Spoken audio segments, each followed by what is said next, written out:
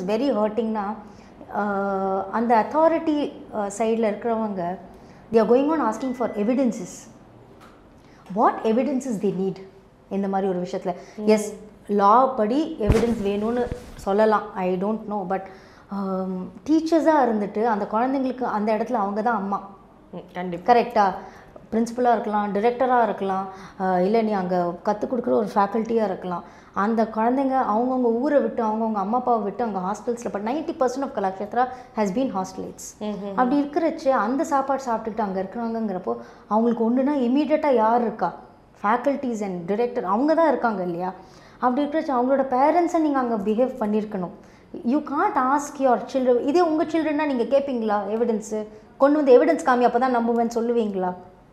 அந்த பசங்கக்கிட்ட எப்படி எவிடன்ஸ் கேட்குறீங்க and what you think the child will say oh please wait oh you doing something to me wait I'll go get my phone சொல்லிவிட்டு அவள் phone நான் video on பண்ணுறேன் நீங்கள் திரும்ப பண்ணுங்கன்னு சொல்லுவாளா இது என்ன ஒரு நான்சென்சிக்கலான ஒரு விஷயமா?